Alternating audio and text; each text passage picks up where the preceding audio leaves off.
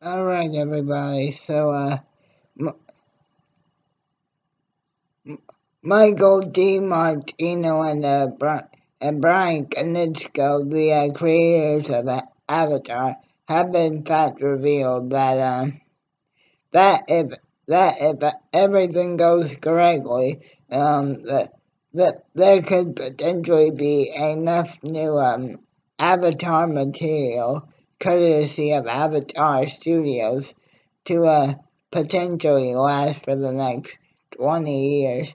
Um, now, now as everybody knows, uh, Mike, Michael and Bryan uh, formed uh, Avatar Studios out, uh, after they decided to uh, withdraw from Netflix, Netflix's upcoming uh, live action adaptation of uh, the of the of, of the classic Nickelodeon series Avatar: The Last Airbender, and uh, Martino and Konietzko have in fact revealed that uh, that that that that indeed uh, all all all all of the upcoming Avatar projects will will unfortunately take some time to come to fruition, um, but potentially there's enough material for the next 20 years.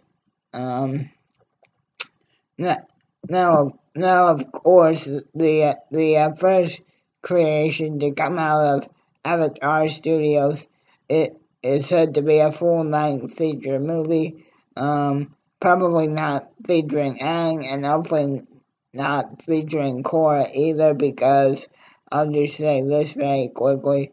Um, OG Avatar all the way. Uh, Korra's um, not my cup of tea, but again, everybody, enough Avatar material to potentially last for the next 20 years.